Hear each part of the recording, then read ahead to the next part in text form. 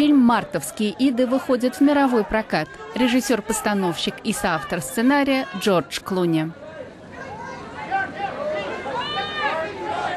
Драматургическая основа вовсе не роман Тортона Уайлдера, как можно было бы представить, а бродвейская пьеса, в центре фабулы которой история о закулисной жизни предвыборной кампании.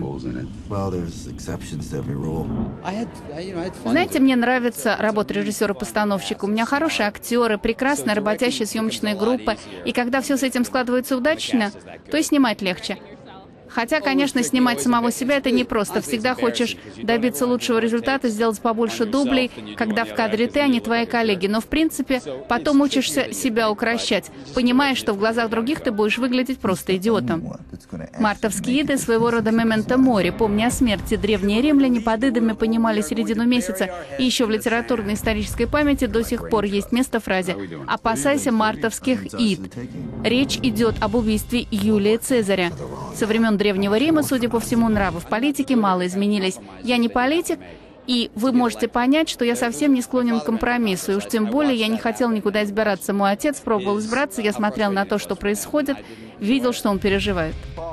В роли второго протагониста Райан Гослинг.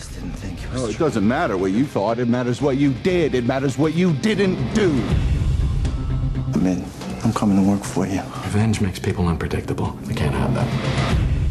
If I had something else? Like what? Something big. Разрешите мне сказать вам полную правду. Мне Райан Гослинг не нравится. Хорош собой, высокий, красивый. У меня нет причин любить его. Но вот какая штука. Он умеет прикинуться умным и тонким, оставаясь при этом актером из сериала, который, к тому же, к делу и без дела, размахивает воображаемый мулет. А так в работе он хорош. В России мартовские иды на экране появятся в феврале будущего года.